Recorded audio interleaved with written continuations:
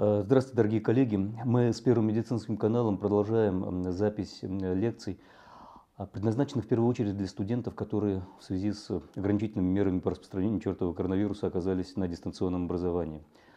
Мы уже говорили, я уже говорил в предыдущих лекциях, что все эти лекции являются абсолютно открытым материалом. А вот э, а, QR-код, который можно использовать, эм, он приведет просто на драйв, где все эти лекции выложены, они выложены в PPTX формате, вы можете делать с ними все, что угодно, можете раздергивать их на слайды, редактировать, то есть использовать абсолютно по вашему усмотрению. Если у вас какие-то вопросы, вы можете найти меня в социальных сетях, вот мой адрес электронной почты. И э, сегодня мы продолжим лекцию, которую, тему, которую мы начали э, пару дней назад. Это тема общей клинической фармакологии. Мы уже поговорили э, по вопросам фармакокинетики. Сегодня следующая часть, сегодняшняя часть посвящена фармакодинамике. Но, как обычно, как и в прошлой лекции, я снова покажу дополнительные учебные руководства, которые могут вами использоваться, потому что ну, лекция – это лекция, она ни в коей мере не призвана заменять учебники, она ни в коей мере не призвана заменять вашу учебную программу. Я здесь специально не привожу какого-либо учебника, который должен использоваться просто потому, что полагаю, что, надеюсь, что эту лекцию будут смотреть разные студенты. У вас у всех своя учебная программа, возможно, свои рекомендованные учебники. Поэтому все выведенные на экран учебные пособия, они были использованы для подготовки этой лекции, и они рекомендуются тем, кто хочет продолжить свое а, самообразование в области клинической фармакологии. Ну, во-первых, достаточно современное руководство э, принципа клинической фармакологии, под, э, традиционно э, Аткинсон так называемый. Есть его перевод на русский язык, перевод не новый, переводилась книга, наверное, лет 10 назад, но все-таки это действительно современное хорошее руководство. Неустаревающая вечно зеленая клиническая фармакология по Гудману и Джилману. Здесь старый перевод на русский язык, сейчас существует более новая редакция – Два руководства, подготовленных издательством Cambridge Press, это руководство по фармакодинамике, в первую очередь описывающее, кстати, нашу сегодняшнюю тему, взаимодействие лекарств с рецептурным аппаратом, и э, руководство по расчетам по фармакокинетике. Там много хороших задач, там много практических задач. Возможно, тем, кто будет работать в области клинической фармакологии, именно клинической фармакокинетики будет определять концентрация препаратов будет э, мониторировать фармакокинетику каких-то лекарственных средств. Задачи, прилагаемые здесь, пригодятся.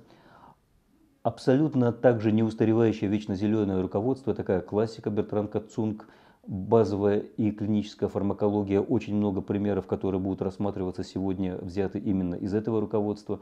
Оно пережила большое количество изданий и достаточно большое количество переводов на русский язык. Вообще очень рекомендуемое э, э, руководство по клинической фармакологии. Ну и три руководства, которые я бы рекомендовал тем, кто хочет совсем уж глубоко погрузиться в тему. Это хорошие учебные руководства, они будут полезны не только врачам, но и тем, кто работает в области фармакохимии, тем, кто работает в области фундаментальных наук. Это два руководства по клинической фармакологии и фармакокинетике. Вот это одни и те же авторы, Роланд и Тозер. Вот это вот э, толстое, здоровое такое, оно очень фундаментальное руководство. К нему еще прилагается э, код доступа к онлайн-ресурсам. И Essential of Pharmacokinetics Pharmacodynamics – это вот как бы выжимка такая из этого руководства, такое потоньше, ну, для самостоятельного освоения, а, по крайней мере, основных начал этих дисциплин. И, пожалуй, самое современное руководство по фармакокинетике и фармакодинамике э, Сара э, э, Розман, Розенбаум под ее редакцией. Все эти руководства, если у вас возникнет вопрос, мне уже присылали студенты вопросы, где их можно купить, ну, по крайней мере, я могу сделать отсылку на сайт Амазона, вы можете их найти в Амазоне, поэтому, если кого-то возникнет необходимость, пожалуйста, обращайтесь, пришлю. Сейчас э, давайте вспомним. Мы уже говорили на прошлой лекции о том, что такое фармакокинетика и фармакодинамика. Ну, небольшое такое рекурсия, небольшое воспоминание, а, немножко уйдем к старому. Итак, мы говорили, что фармакокинетика – это то, что организм делает с лекарством. То есть путешествие лекарства по организму, приключение лекарства в организме. Соответственно, фармакодинамика – это наоборот. Это то, что лекарство делает с организмом. Самое простое, самое, наверное, интуитивно понятное и самое запоминающееся определение – этих двух дисциплин. Давайте начнем с того, что поговорим о том, как вообще взаимодействуют лекарства и организм. Потому что у нас есть много уровней, много подходов к фармацевтическому, к фармакотерапии, а, много разнообразных аспектов действия лекарств. Ну, сперва замещающие то есть, когда мы назначаем лекарственный препарат, когда у нас лекарственным препаратом является какой-то компонент организма, который, э, который в дефиците, либо который отсутствует. Ну, скажем, самое, самое распространенное, наверное, замещающее лечение – это гормонотерапия. Например, гормонотерапия, инсулинотерапия при диабете первого типа. То есть, когда не хватает нет инсулина, значит, мы вводим сторонний инсулин. Следующий подход – это э, попытки взаимодействовать на биофизическом уровне, то есть воздействие на потенциал а мембран, воздействие на потенциал клеточной мембраны, изменение э, этого потенциала, которое приводит к изменению характеристики функционирования клетки. К примеру, антиритмические препараты. Биохимическое воздействие. Пытаемся взаимодействовать, воздействовать уже на конформацию макромолекул. Возможно, пытаемся изменить э, рецепторную конформацию, а, конформацию каких-то э, сигнальных молекул. Биологическое воздействие. Очень большое количество препаратов – которые сейчас на рынке, более 200 препаратов. Э, сейчас эм, бум такой переживает э, биологическая, э, биотехнологическая индустрия, разрабатывается очень большое количество моноклональных антител. В принципе, с моноклональными антителами все достаточно просто и весело, потому что все моноклональные антитела можно определить по их непатентованному наименованию, можно определить их характеристику. Они заканчиваются на MAP, от английского monoclonal antibodies – апциксимаб, э, бевацизумаб, э, эволикумаб, ну и так далее, и так далее. То есть а, эти препараты, они а, сейчас выходят, наверное, на первый план э, в области лечения ряда патологий в онкологии, в ревматологии. Генетическое влияние – это уже, конечно, новации последних нескольких лет. Они связаны с тем, что появились технологии, позволяющие непосредственно влиять на процессы транс, э, трансляции, репликации э, нуклеиновых кислот а, в клетке. То есть это в первую очередь CRISPR-Cas9 технология и технология интерферентного, интерферирующего а, интерферирующей рибонуклеиновой кислоты, iRNA, так называемая, или интерферентная РНК. То, о чем мы много слышим, но то, чего пока очень мало, это нанотехнологическая попытка воздействия. А сейчас нанотехнологии в первую очередь они имеют отношение все же к фармакокинетике. То есть нанотехнологии – это разнообразные липосомальные оболочки или другие способы с помощью наночастиц дозированно, э, э, контролируемо доставлять э, лекарственные препараты в определенные участки организма, а либо с помощью этих наночастиц изменять фармакокинетические свойства этих препаратов, например, защищать их от избыточно экстенсивного выведения из организма, способствовать их избирательному накоплению в каких-то э, областях. И, наконец, э, мы не должны сбрасывать со счетов так называемое неопределенное воздействие, взаимодействие лекарства и организма. Ну, давайте скажем откровенно, эффект плацебо, он существует, а эффект плацебо, а напомню, что плацебо произошло от латинского глагола плацера, удовлетворять, приносить удовольствие, восхвалять, ну, и потому что есть такая городская легенда, не вполне правильная, буду немножечко занудой. Говорят, плацебо переводится с латыни пустышка. Нет, никакая не пустышка, хотя по сути да. По сути, плацебо – это имитатор лекарственного средства, это э, некая лекарственная форма, которая не имеет собственного воздействия на организм, которая биологически индифферентна, но при этом за счет того, что пациент верит, доверяет, за счет того, что он уверен, что это лекарство ему поможет, у него развивается плацебо-эффект. А, возможно, есть даже данные, что какие-то плацебо-препараты и активность их, и эффективность этих плацебо-препаратов, она связана, например, с цветом таблетки. Были, проводились специальные исследования, было показано, к примеру, что самое эффективное плацебо красного цвета, там, менее эффективное голубого цвета, самое неэффективное белого, потому что, ну, как бы люди привыкли, что белое, что это такое белое? Мел, сахар, не знаю. Вместе с плацебо мы должны отнести к неопределенному эффекту эффект э, гомеопатических препаратов. Несмотря на то, что, да, действительно, материалистическое восприятие мира, оно не позволяет нам говорить о том, что гомеопатические препараты имеют какую-то мишень действия, гомеопатические препараты могут в принципе действовать на организм, но при всем при этом огромное количество людей во всем мире а, принимает гомеопатические препараты. Я не думаю, что с этим надо вот активно бороться, прямо там гомеопатов на виллу нет. Ну, что, ну почему людям нравится, люди пьют, и плацебо-эффект реализуется посредством применения гомеопатических препаратов. Единственное, сразу сделаю некий стейтмент, гомеопатические препараты ни в коем случае никогда не могут заменять конвенционную терапию, то есть терапию, которая, для которой эффективность применения доказана. Гомеопатические препараты не могут продаваться и создавать у людей избыточные или ложные надежды, что, ну, например, там, в ситуации, когда не существует никакого лекарственного средства, а вдруг поможет гомеопатия. Но Давайте еще скажем о другом эффекте, ноцебо-эффекте. Потому что о плацебо-эффекте знают все. Ноцебо-эффект – это более редкий, э, более редкий термин, который сводится к такому постулату. Если вы считаете, что нашу, на вашу голову непременно упадет кирпич, вероятность падения кирпича повышается. То есть, если человек считает, что лекарство ему не поможет, а навредит, он, ну, точно так же, как и плацебо-эффект может вызвать у него а, хорошие изменения в состоянии здоровья, точно так же ноцебо-эффект а, будет у него давать а, изменения в состоянии здоровья а, неблагоприятные, появятся побочные эффекты препарата. Вот представьте себе, ваш пациент, ваши будущие пациенты, они читают вот этот вот длинный перечень по возможных побочных эффектов, э, которые приводятся в инструкции на лекарственный препарат, в инструкции по медицинскому применению, в инструкции вкладыша, потому что они получают эту инструкцию вкладыш вместе с лекарством. А дальше они прочитывают это, но ваша задача в чем будет состоять? Объяснить, убедить, что да, действительно, эти побочные эффекты регистрировались. А дальше там написано, например, там очень редко, один раз на 10 тысяч случаев. То есть, ну, один раз на 10 тысяч случаев. Скажите своему пациенту, это не ваш случай, это явно. Но слушайте, неужели вы верите в свою звезду? Потому что в противном случае, перечитав количество этих побочных эффектов, кто-то будет отказываться от применения лекарственных препаратов именно в связи с этим ноцебо-эффектом, ну а в дальнейшем результаты лечения будут неудовлетворительными.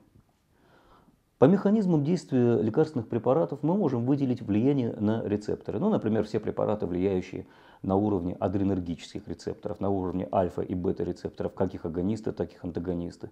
Или на уровне холинергической системы, на уровне М-холинорецепторов и Н-холинорецепторов, в первую очередь М, М-холинорецептор. Да? Препараты, влияющие на активность ферментов, ну, скажем, ингибиторы ангиотензин превращающего фермента, нестероидные противовоспалительные средства, все действие которых сводится к воздействию на циклооксигеназу, они блокируют циклооксигеназу, за счет чего нарушается выработка в конечном итоге простагландина И2, который является непосредственным медиатором воспаления. Препараты, влияющие на различные компоненты клеточных мембран. Ну, например, антиаритмики, препараты, влияющие на каналы клеточных мембран, на натриевые каналы, на калиевые каналы – либо антибиотики. Здесь уже происходит взаимодействие препарата не с э, клеточной мембраной э, человека, а с клеточной мембраной паразита. То есть это препараты, которые как раз таки предназначены для негативного влияния, для разрушающего влияния на э, клеточные мембраны, но уже бактерий. Прямое взаимодействие с какими-то химическими соединениями, например, включение, соединение препарата с крупными молекулами, включение в крупные молекулы. Примером здесь могут быть гепарины – то есть препараты, которые посредством антитромбина 3 э, соединяются с протромбином и нарушают процессы свертывания крови, либо э, э, замедляют процесс свертывания крови, либо ингибиторы 10 А-фактора свертывания крови. Это могут быть и гепарины, это могут быть и новые антикоагулянты. Ну и препараты, наконец, нарушающие метаболизм в клетках. Опять-таки, чтобы нарушать метаболизм, надо оговориться, что этот метаболизм нарушается в клетках, которые мы считаем злыми, плохими, нежелательными для организма. То есть это цитостатики, это могут быть антибактериальные препараты, противопаразитарные препараты. И препараты антиметаболического действия как раз-таки разрабатываются таким образом, чтобы они имели максимальную тропность, максимальное сродство к э, нежелательным клеткам, но при этом в наименьшей степени поражали клетки организма, все остальные клетки хозяина. Сегодня в качестве э, модели такой фармакодинамики мы будем больше всего говорить о процессе связывания препаратов с рецепторами. Вообще фармакодинамика, она делится на две части. Это общая фармакодинамика, когда мы э, описываем а, те формулы, те графики, те подходы, которые мы используем для, при разработке лекарственных препаратов, для описания активности этих лекарственных препаратов – и вопросы частной фармакодинамики. Но частная фармакодинамика – это уже воздействие на организм э, э, каждой конкретной группы лекарственных веществ. И частную фармакодинамику вы в большей степени будете изучать на, э, в ходе занятий по теме частная клиническая фармакология, когда разрабат... изучаются разные группы лекарств, предназначенные для лечения разных органов и систем, для разных, лечения разных болезней, а общая фармакодинамика. Давайте начнем с, с рецепторов как раз таки. Итак, э, очень большое количество лекарств. Оно действует за счет связи с конкретным протеином. То есть лекарства имеют сродство к конкретному белку, которое определяется формированием э, временных химических связей лекарств, молекул лекарственного препарата с этим белком. И дальше это лекарство воздействует на этот белок, потому что задача рецептора в чем? Рецептор – это структура, которая должна запустить ответную реакцию организма на воздействие какой-либо сигнальной молекулы. Это может быть гормон, это может быть нейротрансмиттер, это может быть цитокин. Для этого предназначен рецептор. Мы делаем лекарство. Лекарственный препарат, он должен угнать, если угодно, рецептор, украсть эту невесту, угнать самолет у организма. То есть он должен угнать его у гормона нейротрансмиттера или цитокина – и воздействовать через этот рецептор само. Либо это будет более активное воздействие, либо это будет замещающее воздействие, либо, возможно, наш лекарственный препарат, воздействуя на рецептор, будет блокировать действие этого гормона или нейротрансмиттера, то есть блокировать ту реакцию, которая с нашей точки зрения лежит в основе развития патологического процесса. Связь с рецепторами характеризуется несколькими, э, несколькими понятиями и несколькими параметрами. Первую очередь это аффинитет. Аффинитет, или affinity по-английски, это сродство и прочность соединения лекарственного препарата с рецептором. Чем его можно описать? То есть это то, насколько, если бы лекарство имело волю выбора, насколько охотно оно связалось бы именно с этим рецептором, предпочтя этот рецептор какому-либо другому. То есть, если угодно, это сила такая вот выбора лекарственного препарата. А более научно аффинитет описывается концентрацией, требуемой для связи всех рецепторов. Вот посмотрите на эту картинку. Вот это процент связи с рецепторами. Картинка на английском языке, она взята, очень хорошая картинка, взята из открытого источника, взята из статьи в Википедии э, по фармакодинамике. Кстати, а если кого-то заинтересует э, статья в Википедии, пожалуйста, я рекомендую, но только именно в англоязычной Википедии, потому что в русскоязычной статья, она ну, такая очень поверхностная, обзорная, там несколько слов всего. А в английской Википедии там очень хорошая статья по фармакодинамике, можете почитать, там тоже хороший дополнительный материал. Так вот, а вот на этой картинке по оси ординат у нас процент связывания, процент, иначе иногда говорят оккупации, оккупирования рецепторов. А здесь концентрация леганда, то есть того лекарства, того вещества, которое связывается с этим рецептором в растворе. Вот смотрите, higher affinity или леганд с высоким аффинитетом к рецепторам. Видите? А концентрация и связывание, то есть процесс связывания а, препарата с э, рецепторами нарастает по мере увеличения концентрации очень быстро. Здесь очень крутой подъем идет связывания. Дальше он, э, конечно, замедляется, несколько замедляется, и вот приходит к 100%. Но на участке, например, вот этом вот до 60%, а, колено, вот это восходящее колено этой кривой, оно очень круто уходит вверх. То есть вот характеристика высокого аффинитета препарата. А вот эта вот э, кривая, она характеризует легант с низким аффинитетом. То есть концентрация увеличивается, но при этом связь с рецепторами нарастает постепенно. И видите, в итоге, а, тут, где, в той ситуации, где у э, леганда с высоким аффинитетом почти что 100% э, рецепторов были оккупированы этим легандом, были связаны, Здесь количество оккупированных рецепторов той же концентрации оно оказывается в полтора раза ниже. Да, пока не перешли к следующему слайду. Еще один момент. Учтите, аффинитет не характеризует ответ. Сила связывания не обязательно значит, что связывание лекарства с рецептором даст выраженный ответ той клетки, на которой фиксирован этот рецептор.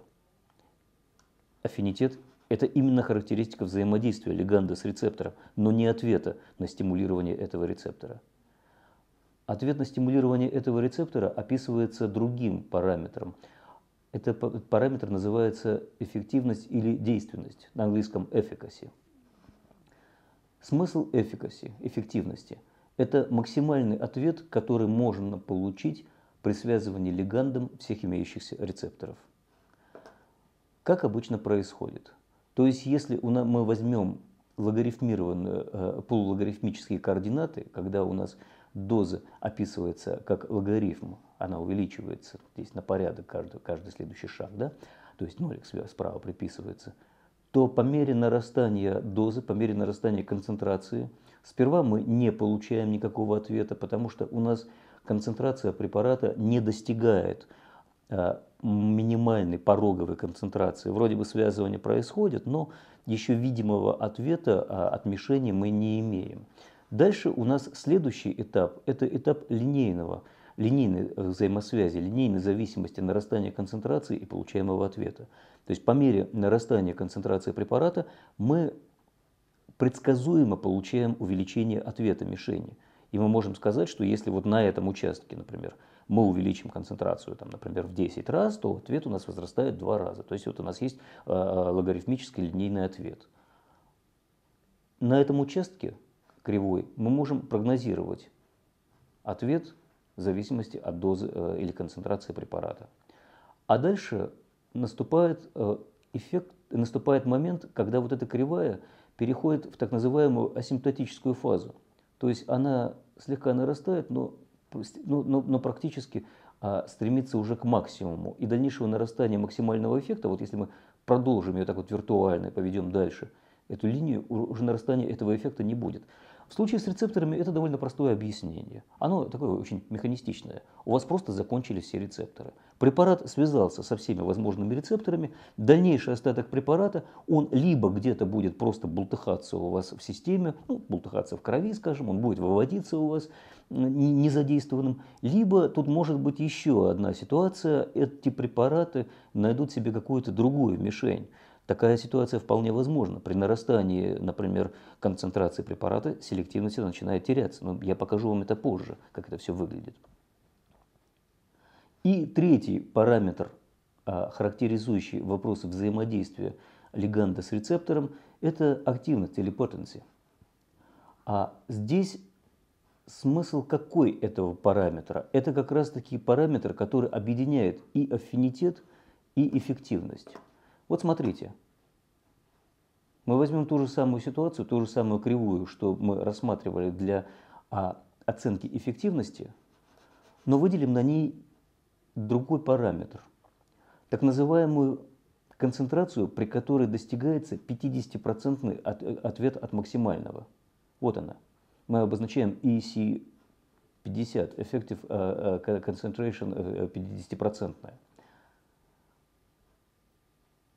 Этот параметр как раз-таки характеризует, на каком уровне мы достигаем 50% возможного ответа. То есть, если у нас э, аффинитет будет более высоким, кривая пойдет как-нибудь вот так, соответственно, у нас в этой ситуации ответ будет получен раньше.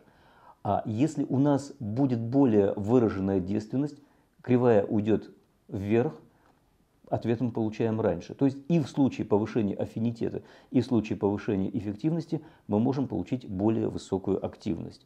Зависит опять-таки от ситуации, от того, насколько активно, насколько эффективно лигант в данном случае стимулирует рецептор и какая, каков ответ рецептора на стимуляцию лиганда. И вот базовые расчетные параметры, которые используются в фармакодинамике. Ну, Посмотрите, эта формула, ее достаточно просто опять-таки понять. Здесь ничего сложного нет. Знакомая вам уже кривая. Вот здесь ответ. Но мы можем здесь прочертить э, виртуальную, такую представить себе еще одну э, ось, которая будет характеризовать уже не ответ, а процесс связывания э, с рецептором. Таким образом, у нас ответ получаемый при какой-то конкретной концентрации. Эффект Е будет равен максимальному эффекту, вот он, вот этой величине, умноженный на ту концентрацию, для которой мы хотим рассчитать необходимый ответ, и поделенный на концентрацию, для которой мы рассчитываем этот ответ, ну, предположим, 10 во второй степени, плюс вот этот параметр концентрации, который, при которой мы получаем максимальный ответ организма. Таким образом, мы можем, проанализировав эту кривую, рассчитать, для какой концентрации какой ответ мы будем получать. Таким, и, и так мы моделируем фармакодинамическое взаимодействие. То же самое, а то же сам, тот же самый подход мы можем получить, если нас интересует не вопрос ответа, а вопрос моделирования процесса связывания конкретных, конкретного леганда с конкретным рецептором. То есть в этом случае у нас уже в расчете будет использоваться связывающая величина, связывающая концентрация – процент связывания при определенной концентрации будет равен максимальному, а проценту связывания, ну, предположим, это может быть даже 100%, умноженный на конкретную концентрацию, для которой мы рассчитываем эту величину, и деленный на концентрацию, для которой будет рассчитана величина, и коэффициент, который равен, по сути, вот этому EC50. Это та же самая, та же самая величина. То есть коэффициент – это ЭКД, это концентрация, при которой 50% всех рецепторов, имеющихся, связывается этим лигандом. Вот это два, э, два основных подхода, которые используются для моделирования и для оценки процесса связывания а, лиганда с рецептором и процесса оценки и э, э, описания эффекта воздействия препарата на рецептор. Следующая ситуация. Мы говорили сейчас об агонистах лекарственных препаратов, о препаратах-агонистах, а теперь антагонисты. Антагонисты – это лекарственные вещества, которые связываются с рецептором, но их самостоятельная активация этого рецептора, она не имеет принципиального значения. Здесь принципиальное значение имеет как раз-таки то, что, связываясь с рецептором, они не дают связаться с этим рецептором молекуле, которая является агонистом этого рецептора. Ну, например, бета-адреноблокаторы. Бета-адреноблокаторы связываются с адренорецептором, за счет чего не дают э, связаться с рецептором адреналину и норадреналину, который посредством связи с этим рецептором производит стимулирующее воздействие. Антагонисты выделяются, разделяются на два типа. Конкурентные антагонисты. Конкурентный антагонист. Смысл конкурентного антагонизма. Грубо говоря, один из конкурентов больше по какой-то причине нравится этому рецептору, у него выше аффинитет, понятие, о котором мы уже говорили, нежели конкурент другой. То есть взаимодействие будет идти между рецептором и вот этим конкурентом. И второе, а, вторая ситуация – не конкурентный а, а, антагонизм, а либо рецептор полностью будет связан по какой-то причине а, с этим антагонистом, либо возможно так называемое аллостерическое моделирование, то есть рецептор сам по себе не связывается, но за счет прикрепления антагониста где-то рядышком происходит изменение его пространственной структуры и связь с э, природным э, веществом, связь с природным агонистом этого рецептора становится невозможной. Возможно частичное и полное, э, частичный и полный антагонизм. Смысл частичного антагонизма. А, например, вот опять-таки его проще объяснить на примере бета-адреноблокаторов. Существуют бета-блокаторы с собственной симпатомиметической активностью. То есть, грубо говоря, Предположим, что адреналин при воздействии на бета-адренорецепторы, на бета-1 рецепторы будет вызывать тахикардию. Условно говоря, он стимулирует частоту, в норме частота сердечных сокращений 80, при воздействии э, дополнительного количества адреналина она будет равна 100. Про взаимодействие. Мы разрабатываем некий бета-блокатор, который, связываясь с бета-рецептором, вытесняет адреналин. Он не дает ему провзаимодействовать с этим рецептором. Но при всем при этом он сам стимулирует частоту сердечных сокращений. Но стимуляция его будет обрываться на цифре 70. Что будет происходить, э, если мы назначаем этот препарат человеку с частотой сердечных сокращений 70? Ну, наверное, ничего, просто адреналин не подействует на сердце, не разгонит сердце, частота сердечных сокращений не увеличится. С другой стороны, это хорошо. С другой стороны, если мы назначаем этот препарат человеку с частотой сердечных сокращений 60, препарат с собственной симпатомиметической активностью увеличит эту э, частоту сердечных сокращений до 70 но не даст адреналину увеличить ее до 100. То есть собственная активность – это такая управляемая активность, это частичные агонисты-антагонисты. То есть они сами по себе стимулируют рецепторы, но при этом стимулируют слабо и не дают взаимодействовать с рецепторами тем легандам, которые стимулируют их сильно. Следующее, э, следующее деление э, антагонистов – это по химическому и физиологическому антагонизму. Что такое химический антагонизм, я уже рассказал. Это когда два рецептора борются непосредственно, э, два, извините, леганда борются непосредственно за один рецептор. И один из них, благодаря более выраженному аффинитету, побеждает. А что такое физиологический антагонизм?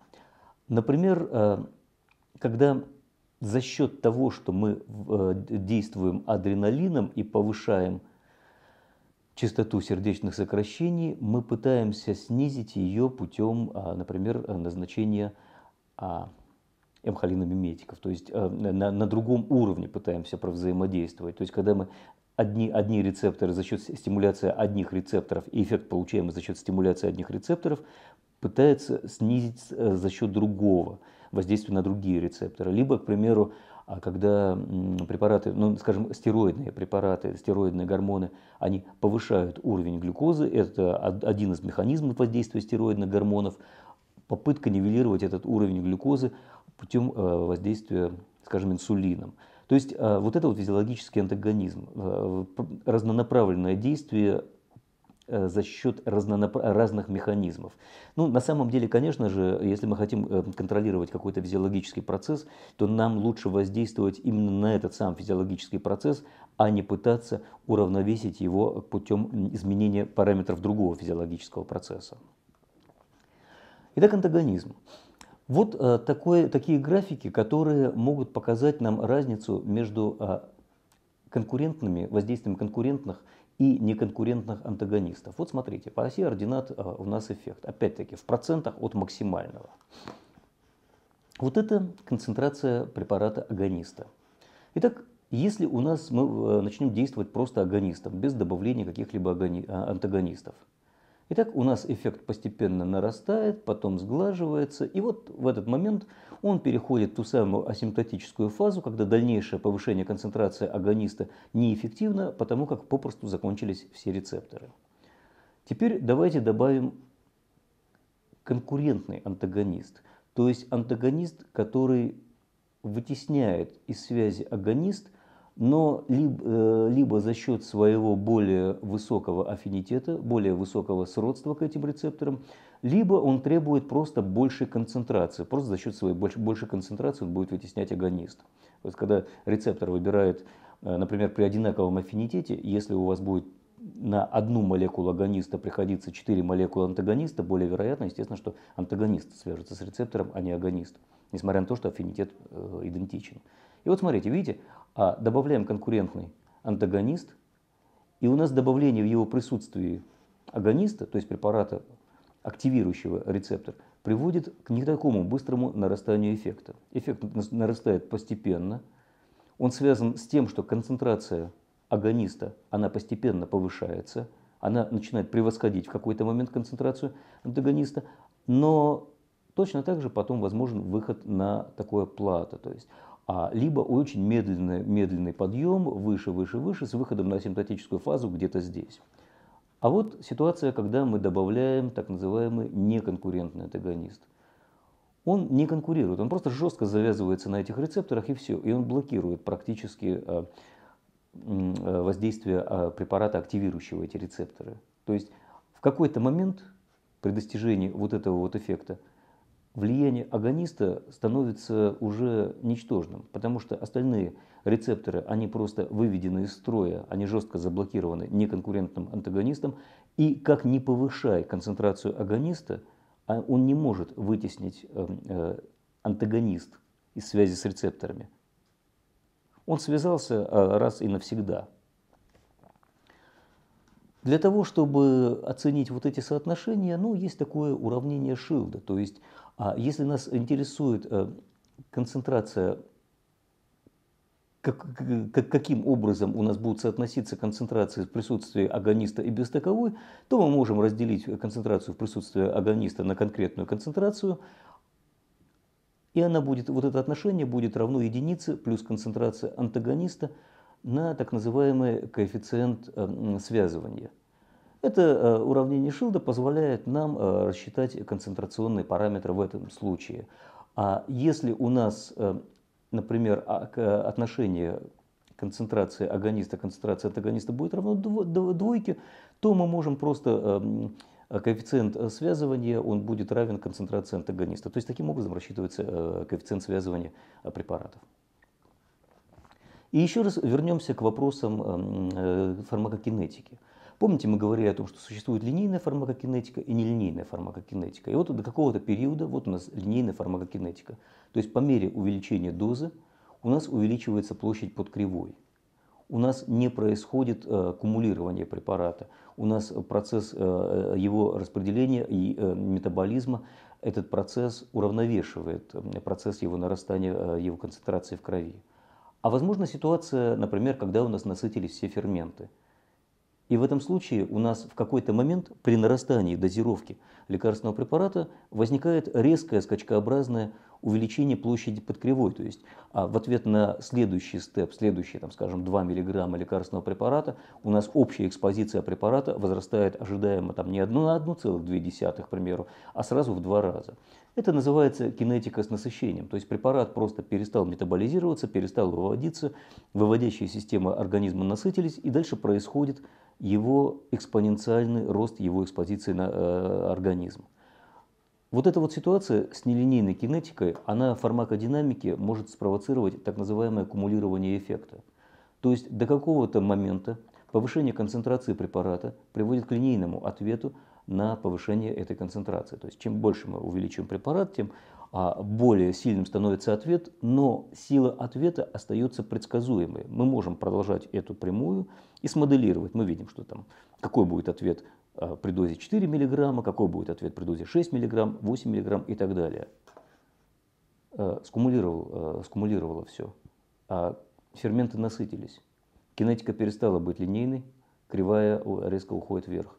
То же самое мы можем получить в при оценке ответа организма на лекарственный препарат. Кривая точно так же пойдет вверх, и следующее нарастание дозы приведет к увеличению эффекта уже не на там, 2, 2 условных единицы, а в два раза. А таким образом а, описывается в фармакодинамике процесс кумуляции эффекта при превышении рекомендуемой дозировки. Ну и еще. Селективность все-таки понятие относительное. Я уже говорил о том, что аффинитет, как правило, это вещь такая. Аффинитет может быть, да, что-то нравится, не знаю, лекарству нравится рецептор а, в 30 раз больше, или лекарство нравится рецептору, но до определенного момента. Итак, возможно, какая ситуация? Вот у нас стандартный ответ, например, а, на некий лекарственный препарат. Кривая находится в подпороговом уровне, потом переходит в, э, в сегмент линейного нарастания ответа в зависимости от концентрации. И дальше после оккупации практически всех доступных рецепторов переходит в асимптотическую фазу. То есть дальнейшее нарастание не дает эффекта на эти рецепторы, не дает стимуляции этих рецепторов. Рецепторы просто закончились, они все связаны. Но мы упорно продолжаем наращивать концентрацию. До какого-то момента наращивание концентрации у нас не дает эффекта при оценке взаимодействия препарата с вторым, второй возможной мишенью, вторым рецептором. Хорошим примером здесь являются бета-1 селективные блокаторы. То есть вот представим себе, что это бета-блокатор. Итак, это селективный бета-блокатор, мы получаем прекрасный эффект, у нас замедляется а, частота сердечных сокращений, у нас замедля... уменьшается, а, э, снижается артериальное давление, снижается систолический выброс, то есть а, снижается работа сердца, то есть мы получаем желаемый клинический эффект, и мы не получаем побочных эффектов, связанных с влиянием э, этого бета-1 адреноблокатора на бета-2 адренорецептора. О чем мы боимся при влиянии на бета-2 рецептора? Ну, в первую очередь, уменьшение э, функциональных параметров легких, то есть мы боимся бронхоспазма. Его недостаточно, он с ними не связывается. Мы продолжаем, продолжаем, продолжаем наращивать концентрацию, бабах, достигнута некая предельная концентрация. Мы получили предельное практическое связывание с бета-1 адренорецепторами. Наращивание концентрации приводит к тому, что препарат, ему деваться некуда, ему надо с чем-то связываться. У него маленький аффинитет к бета-2 адренорецепторам, но он все-таки есть. И вот эти вот остатки препарата, которые не связаны с бета-1 адренорецепторами, начинают связываться с бета-2 адренорецепторами. И вот здесь вот мы получаем уже по мере дальнейшего увеличения препарата нарастание а, побочного эффекта, нарастание силы побочного эффекта. Вот такова цена э, за продолжение наращивания а, дозы э, препаратов в тех случаях, когда мы пренебрегаем их относительной селективностью. Еще один момент, о котором необходимо помнить. Рецепторы, на которые воздействуют эти препараты, они подвергаются так называемой ауторегуляции. То есть они сами себя, свою плотность на клеточной мембране регулируют за счет того, активно или нет мы воздействуем на них агонистами или антагонистами. Итак, смотрите, если мы начинаем очень активно действовать на какие-то рецепторы. Под влиянием этого активного действия происходит так называемая десенситизация – то есть клеточная мембрана становится менее чувствительной к воздействию этого препарата. Вот эти ромбики – это, например, какой-то агонист рецепторов. Вот это вот схематическое обозначение самих рецепторов. Пошла стрелочка, полученный эффект. Итак, на 5 ромбиков мы здесь имеем всего лишь два рецептора, с которыми эти, этот лигант связался, и, соответственно, эффект у нас равен двум условным единицам. Причина – плотность рецепторов низкая, три леганда, три действующих вещества, что называется, ушли в воду. Они прошли мимо этих рецепторов, они не связались, им нечем было связаться. Другая ситуация. Произошла сенситизация, то есть наоборот, плотность рецепторов, она на клеточной мембране выросла. Мы дали ту же самую дозу препарата. Те же самые пять вот этих вот э, ромбиков легандов. Они связались уже с пятью рецепторами. Соответственно, эффект мы получили в 5 условных единиц. Вот простое объяснение графическое того, как одна и та же доза лекарственного препарата приводит к разному терапевтическому эффекту. Все зависит от плотности рецепторов. Плотность рецепторов, она зависит от ряда факторов. Для многих это конституционно определяемая плотность рецепторов, то есть это наследственный фактор. А в какой-то степени рецепторы возде... Э, плотность рецепторов меняется в зависимости от того, насколько активно мы воздействуем на эти рецепторы. То есть чем больше мы будем активировать эти рецепторы, чем больше мы будем атаковать эти рецепторы, тем меньше их будет на клеточной мембране. И наоборот, чем больше мы будем блокировать воздействие на эти рецепторы, тем большее количество рецепторов у нас будет а, появляться. К примеру, мы назначаем тот же самый бета-1 адреноблокатор. А, количество, за счет блокады рецепторов количество рецепторов на мембране у нас начинает возрастать, потому что бета-блокатор э, а, противодействует активации э, рецепторов адреналином. Клетка начинает по механизму обратной связи, так как на нее э, нет активного постоянного давления катехоламинов, она начинает экспонировать рецепторы на своей мембране. Да, они, они очень быстро эм, тоже связываются бета-блокаторами. Резко отменим бета-блокатор. Что мы получаем? У нас очень большое количество рецепторов освободилось, и то же, то же самое количество адреналина, которое без бета-блокаторов – вызвало бы вот такой ответ, в данном случае вызвало вот такой ответ. То есть клинический ответ на воздействие собственного эндогенного адреналина вырос в 2,5 раза. Это так называемый эффект отмены препаратов. Поэтому если препараты блокируют рецепторы, необходимо иметь в виду, что резкая отмена блокаторов любых рецепторов может привести к э, клиническому э, ребаунд-эффекту или эффекту рикошета, когда собственные э, молекулы, активирующие агонисты этих рецепторов, а, после отмены блокатора будут давать избыточный эффект. Ну и, наконец, буквально несколько слов о том, какие, в общем-то, есть сигнальные молекулы, какие рецепторные, как, как, как устроен рецепторный аппарат клетки. Ну, во-первых, это проходящие сквозь рецепторы, которые проходят через всю мембрану и связываются с каким-то внутриклеточным рецептором. Это, э, эти сигнальные молекулы могут проникать э, э, через мембрану, связываться непосредственно, либо они могут связываться с экстрацеллюлярным доменом. Это часть эм, экстрацеллюлярный домен – это часть а, рецептора, которая проходит через мембрану клетки и находится снаружи эм, э, этой клетки. И активировать интерцеллюлярный домен. А интерцеллюлярный домен – это та, та же часть того же рецептора, который находится уже по ту сторону клеточной мембраны.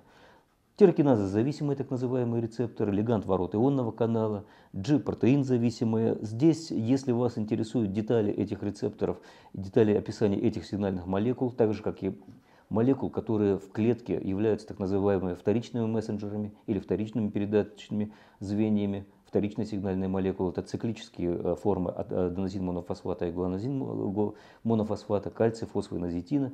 Я вас здесь отошлю к руководству Кацунга, где это все написано очень подробно и очень хорошо. Просто в качестве примера.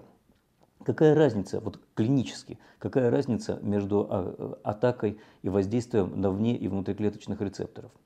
Вот пример. Например, возьмем лечение бронхиальной астмы. К примеру, э, давайте поговорим о том, что мы будем делать, если мы будем лечить приступ бронхиальной астмы путем введения а, бета-2 адреностимулятора, например, сальбутамола. Итак, вводится сальбутамол, он вводится, пшикается. Э, в легкие э, вдыхается аэрозоль, он воздействует на бета-2 адренорецептор, а дальше происходит очень быстрый каскад реакций. От бета-2 адренорецептора а помощью использования гуанозин-3-фосфата отщепляется а, его субъединица, так называемый протеин G-альфа.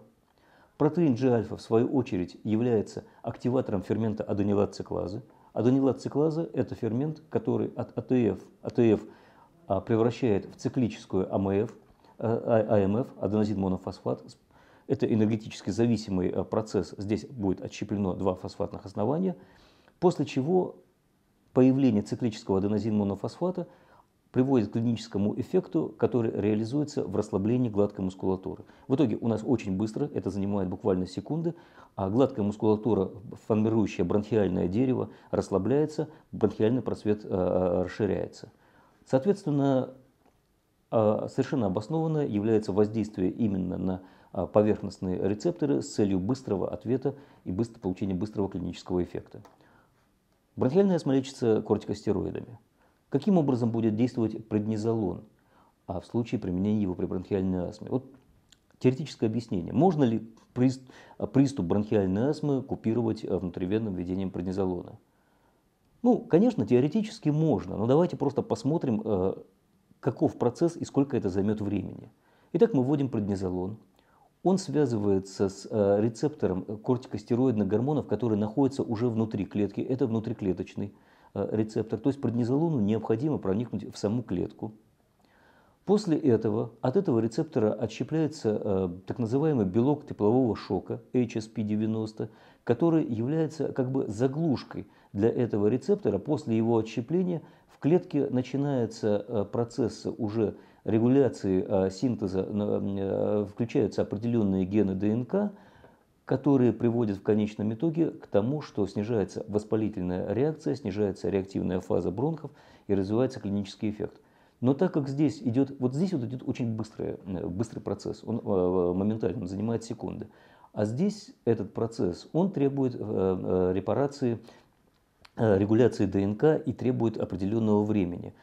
И в этом случае у нас э, клинический эффект начинает появляться только через 30 минут, потому что просто процесс, э, все процессы, связанные с э, ДНК, это достаточно длительные процессы, требующие времени. Соответственно, клинический эффект, да, мы получим, но мы получим его 30 минут и более. Поэтому, наверное, это не самая лучшая идея для того, чтобы а, применять преднизолон при лечении именно приступа бронхиальной астмы. С другой стороны, вот этот вот эффект, он является быстрообратимым.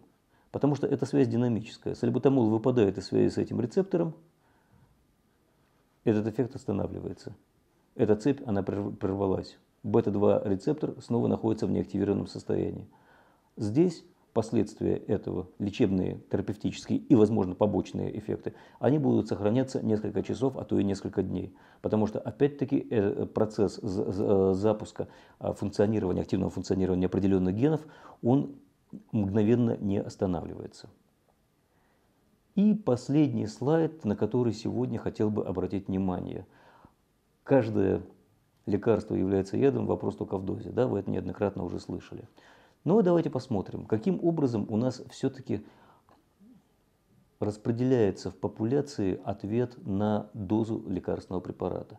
Это пример для кандесартана. Кандесартан ацилексетил – это препарат, который является антагонистом ангиотензина, препарат, который применяется для лечения артериальной гипертензии и для лечения сердечной недостаточности. И вот смотрите, там дозировка идет через, э, путем удвоения 2-4 мг, 8 мг, 16-32 и так далее. Вот у нас э, кривая, описывающая эффективную дозу, то есть дозу, которая приводит к достаточному эффекту, например, снижению а, артериального давления на 50-50% от, желаем, от желаемой популяции, имеется в виду. То есть а, э, здесь 50% это количество людей, у которых достигнуто целевое артериальное давление на какой дозе? То есть у нас целевое артериальное давление достигается на 4-8 мг достаточно мало, 16 мг выше, ну вот в основном там у 50% на 32 мг, у остальных требуются более высокие дозировки, либо присоединение других каких-то препаратов. А вот это вот кривая, это количество людей, которые реагируют на определенную дозу. То есть, видите, э, где-то у нас пик между 30, после 32 мг появляется. То есть, наибольшая популяция пациентов, для наибольшей популяции пациентов эффективно является доза 32 мг. Дальше уже, конечно, экспериментальные данные. Это данные, полученные уже, естественно, не на людях, а на лабораторных животных. Что будет, если мы будем дальше повышать эту дозу, дальше удваивать ее? Дальше наступает уже токсический эффект препарата.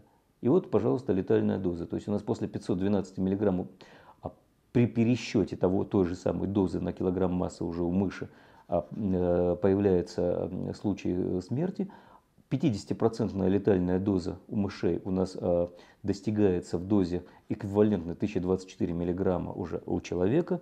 Ну и далее, э, к, по мере повышения этой дозы за 2 грамма, э, достигается так называемый э, такой параметр, как 90% э, летальная доза, то есть 90% животных погибает. И вот опять-таки здесь распределение количества особей в зависимости от э, токсической дозировки.